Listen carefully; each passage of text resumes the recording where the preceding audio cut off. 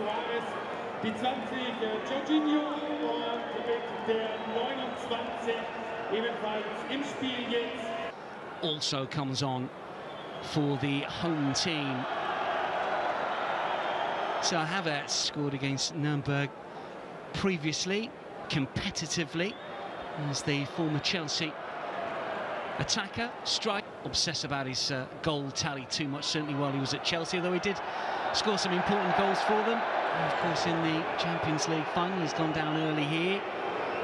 And just gets uh, back across the nose. It's confirmation that uh, came on for right side. Um, I've seen is it Nketiah work something out. It's not easy to beat Ben White on one, uh, you know, winning trophies or, or be involved in, uh, know, in World Cup and stuff. But Fastion to take a touch. A player had a good season at Birmingham in the Championship last term. Here is Havertz. Ranieri waited for the ball. It should be cleared away. Havertz might get another go For Balogun would have put that away. That was a great chance, great opportunity. He'll probably be disappointed with himself there. Goals last season, and I think Jorginho has got there ahead of him, hasn't he? Yeah, I think he might have got a little bit of, of a touch. He's uh, not necessarily the one thing that Mikel... I can't even count them. There's this...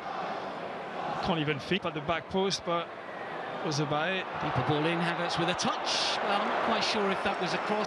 Unless there's a foul in the box, I'm not sure. The I mean, Kanuki is claiming it, but we need to have a more forensic view to yeah, see whether who got the final touch yeah, on it. Yeah, no, for sure.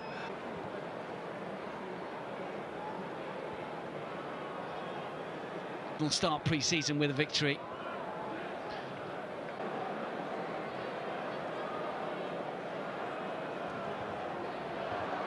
Make it very difficult for. Here comes the corner, clear to the edge of the area again. High towards the back post, just over the head of Kai Havertz. That's, that's the second delivery. And Havertz does well to win it back. Arsenal on the move. Good idea, just a little bit, a little bit too much power on that. Six minutes remaining of the 90 here. Arsenal supporters who have travelled will be hoping to see their side score one more to nudge in front and grab a win. For Tierney again, more menacing from Arsenal perhaps here. Here comes Havertz. And now Tierney. Yeah, it's not not the same level as uh,